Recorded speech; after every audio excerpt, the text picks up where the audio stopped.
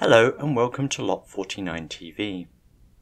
As some of you might know, Marianne Williamson will be challenging Joe Biden in the upcoming Democratic primary, and reparations to the black descendants of slavery is one of her main policies. So today I want to show you a clip of a confrontation she had with a reparations activist, Marcel Dixon, at a rally in South Carolina. I am very, I want to thank you for being, and I'm going to say this because they like to say man enough. I'm going to thank you, a woman, for being man enough to do not what's popular, not what's easy, Yes. but what's right. Yes. And you're running on a reparations platform. And that's the right thing to do.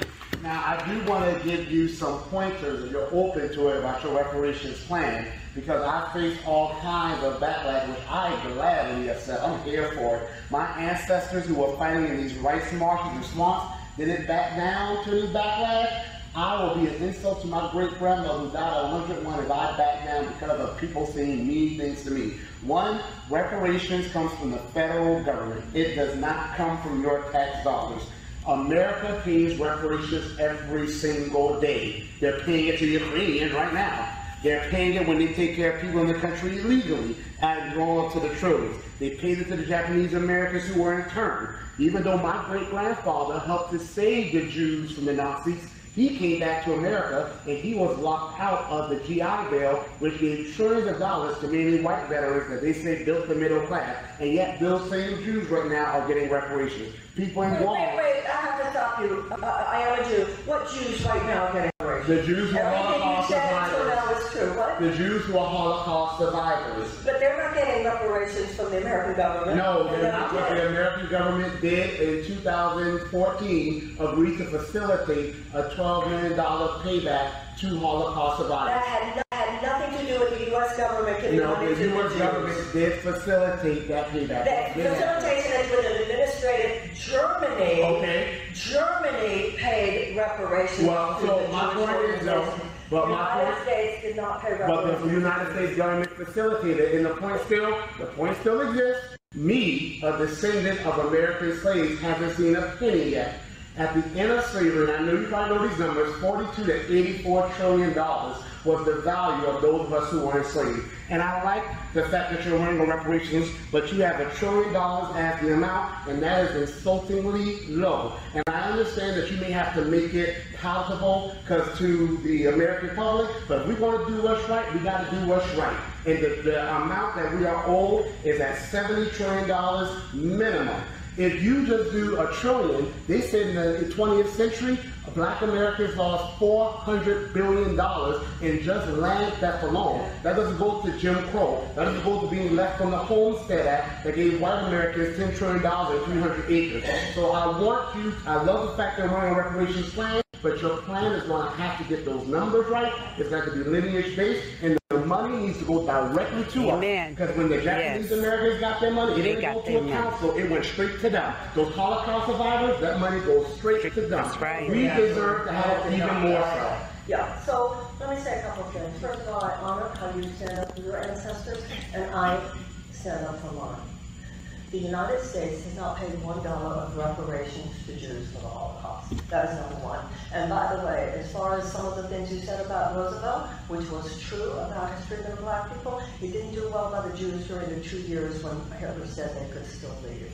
So I will not stand here while anti-Semitic tropes are repeated. That's So, Dixon congratulated her for running on reparations, and he thanked her for running not on what's popular but what's right.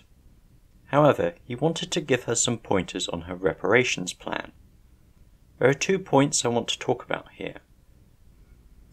One, the disparity between what her plan offers and the debt owed to black Americans for slavery and everything that followed.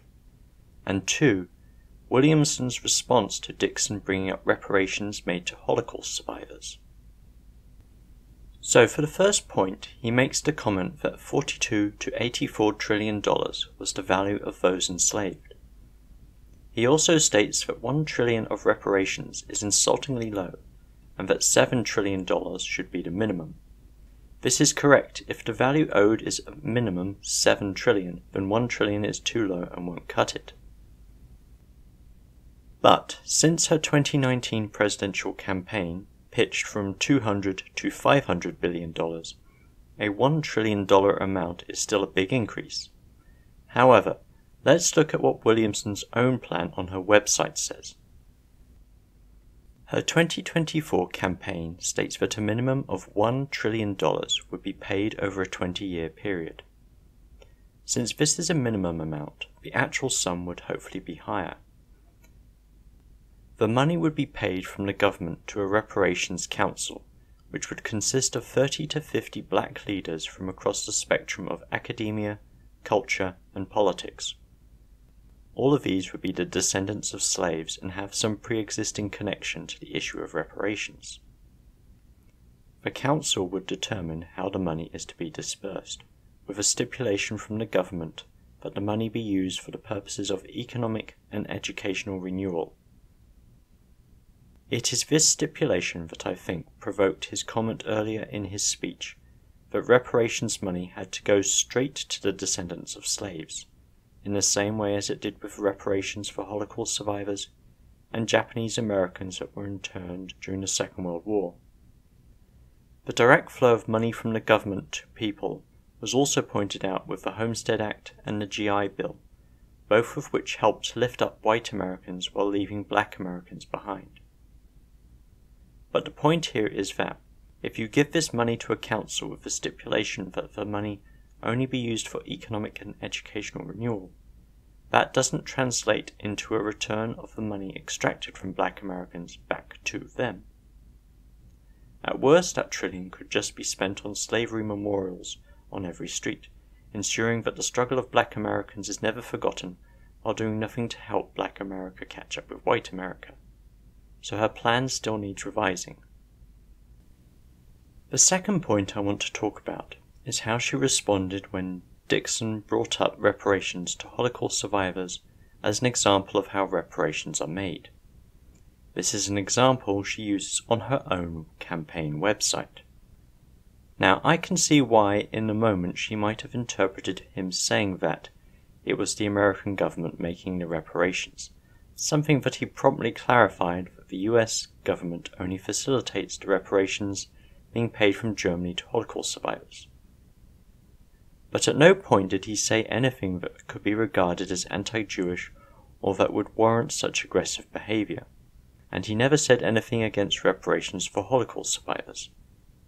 Now, whether she wasn't really listening to what he had to say and only picked up on trigger words and concepts which she reacted to instinctively, or whether she just really doesn't like being criticized, I leave that up to you, the audience, to decide. Well, that's it for this video. The sources used can be found in the credits and in the description. As with all YouTube channels, please feel free to like, comment, share, and subscribe. So until next time, have a good evening.